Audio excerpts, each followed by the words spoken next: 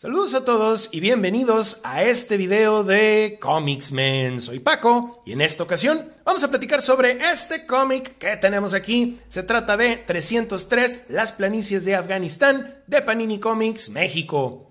Antes de comenzar, les recordamos suscribirse al canal si es que no lo han hecho ya y no dejen de activar la campana para recibir notificaciones de nuevos videos de Comics Men. 303, Las planicies de Afganistán, es una obra originalmente publicada en 2004 por parte de la editorial americana Avatar Press en formato miniserie de seis números. El cómic tiene 100% temática militar y es un relato autoconclusivo, cosa que no extraña para nada cuando nos damos cuenta de quién es el escritor a cargo de todo.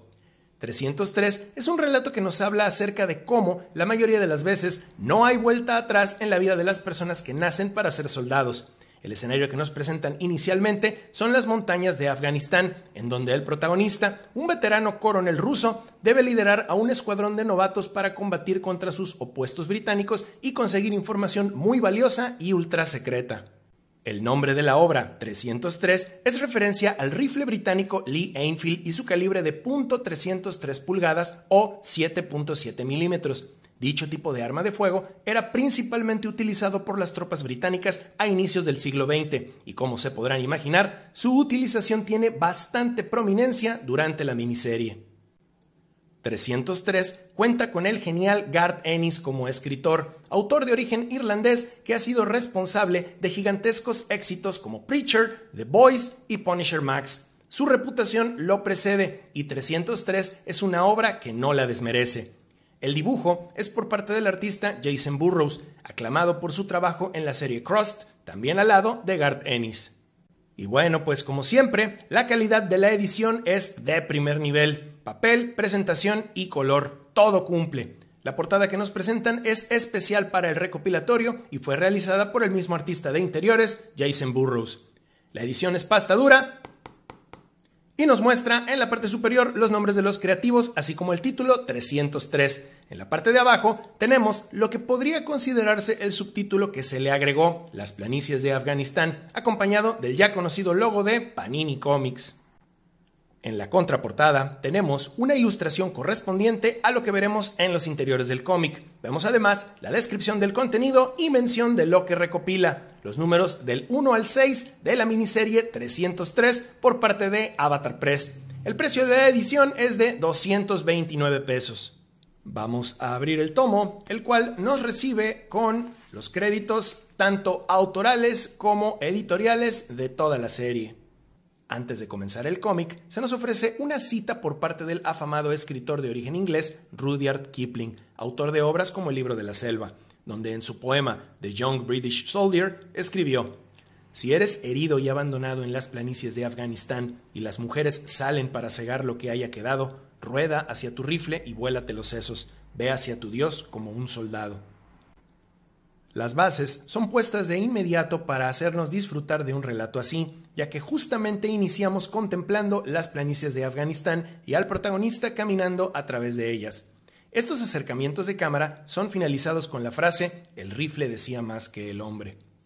Al voltear la página, se nos muestran dos desplegados del veterano soldado protagónico, y toda la narración que los acompaña nos habla de forma estupenda y versada acerca de la historia del rifle Lee Enfield calibre 303 y no acerca de este rifle en específico que porta el personaje, sino sobre la trascendencia histórica que tuvo esta arma a través de muchísimos conflictos bélicos.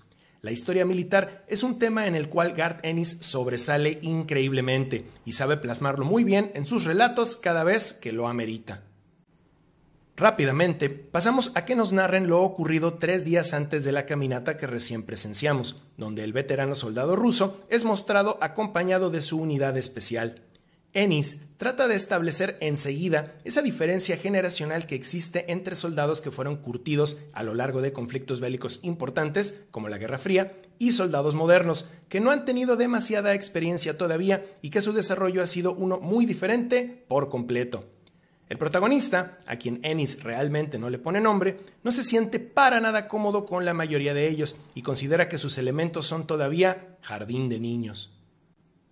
Sin embargo, Ennis no tuvo solamente malos comentarios hacia las generaciones nuevas, haciéndonos notar que uno de los soldados que era parte del batallón logra captar la atención del veterano, quien piensa para sí mismo que ha encontrado material para oficial, gracias a la inteligencia y respeto que le está demostrando este novato, aunque eso sí, al final nos recalcan que cada vez es más raro encontrar a los de este tipo.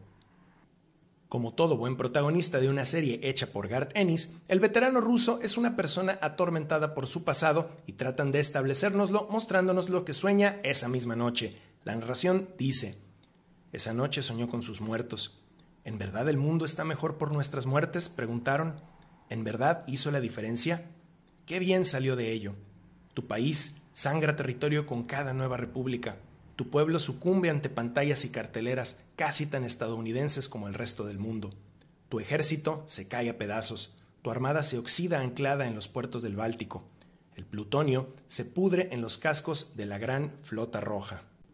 Incluso tu preciosa Spetsnaz, tu élite, está llena de niños, chusma criada por chusma en las escuelas de entrenamiento de Moscú, un ejército privado construido para servir como seguridad de centros comerciales, o peor.